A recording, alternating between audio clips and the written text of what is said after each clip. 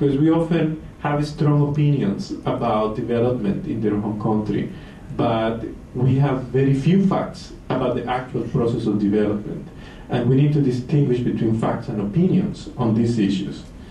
Um, let me just move forward on the issue of diaspora outreach. I think in a very practical way, uh, hometown associations, migrant associations of different groups, professional organizations, for example, among others, uh, should develop missions into their home countries to visit with government officials, to visit with political party officials, and learn about how are their governments, uh, how are their governments trying to meet the Millennium Development Goals, how are they tackling poverty. Don't go and attack them just go and talk to them. Develop a, a partnership to build confidence, to develop a relationship of trust with your home country nationals, with your government authorities, and just learn how are they doing it, what are they doing it, how are they doing it, with what resources and with what level of cooperation. Just ask those basic questions. Have delegations going for three days, take five migrant associations, and visit the officials and then talk to them about how could you cooperate with them. Don't expect them to ask you for money. Um, and if they do, tell them you don't have any. So just beware of that because most people, most government officials will tell you we need money.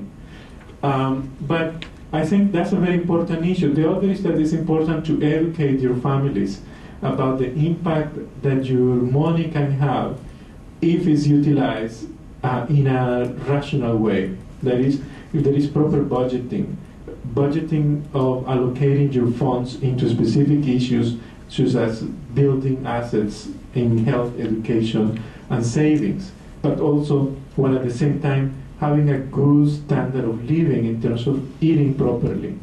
After all, the most important impact that remittances have on development is in good nutrition. You must ensure that the, the money goes for those things.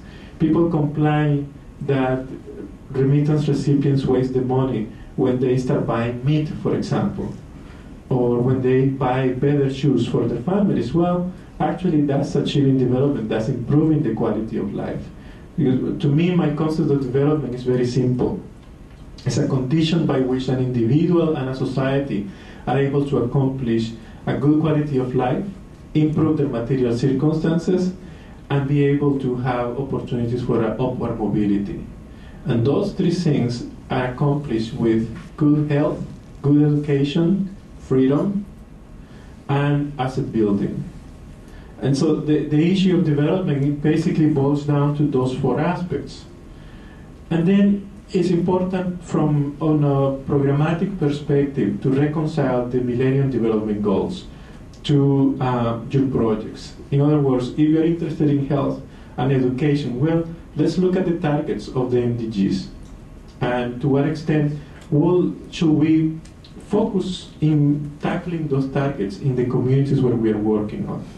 It, how important is that than, for example, creating employment in those communities? that, that is, a, is such a fundamental exercise, just the intellectual exercise of thinking about reconciling your goals of your projects with existing goals of development, such as the MDGs, will give so much education to you and training on development that you cannot uh, have in a classroom, for example. And one issue is just to consider one, uh, to, to focus on one MDG as part of your projects and look at to establish partnerships. And finally, um, a last issue to point out is to establish partnerships. One of the goals of the MDGs is to build partnerships. And here is where the opportunism arises from many institutions in international community where they wanted to talk about diaspora partnerships.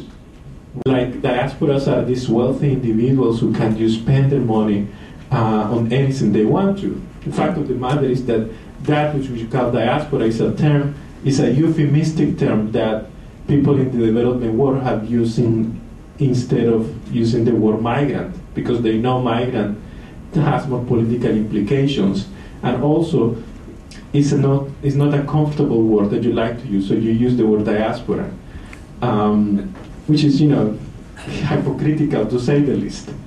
But it's it's important to, to develop partnership with different organizations uh, in the international community and ask them, you know, how are you working on these issues? How can we get funding from you to cooperate in the same ways that you are doing?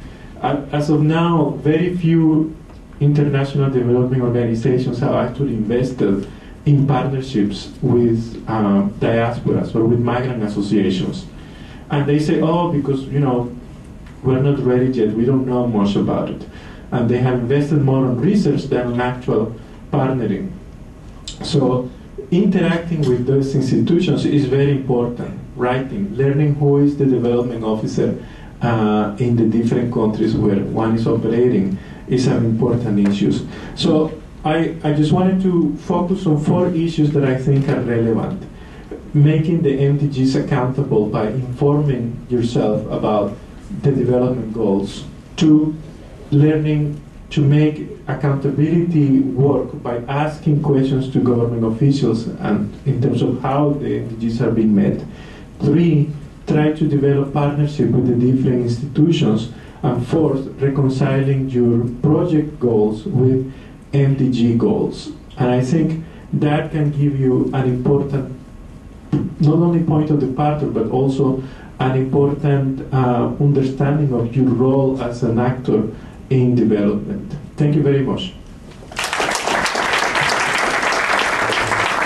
I'm sure uh, some of us would like to ask questions, but uh, I would like to inform you that uh, the second part this afternoon, there will be a debate on uh, with some of our colleagues in the panel, and you can ask questions uh, to Manuel and and uh, we can expand more on, on, the issues, particularly on the role of the diasporas in uh, realizing the goal of MDGs.